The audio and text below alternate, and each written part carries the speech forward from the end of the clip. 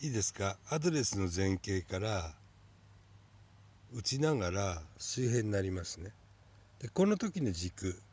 こうやってお尻をね前にして前じゃないお尻が30から38体前から62ねわかる？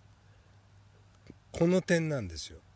この点を中心にヒュンって水平に戻すと真空状態になって足踏ん張らなくても打てますからいいですか？これを画期的に変えたのがアマリンスイングなんです。そして今全世界中の、えー、トッププレーヤーがこれをやっています。わかりました？まあ6対4ぐらいでいいんだけどちょっとよりちょっと後ろね。そのそこのちょっと後ろの部分でこう中心にであまりにスライドでトップ作ってそこ中心に当たるまで回ってください。たまに当たるまででいいですからね。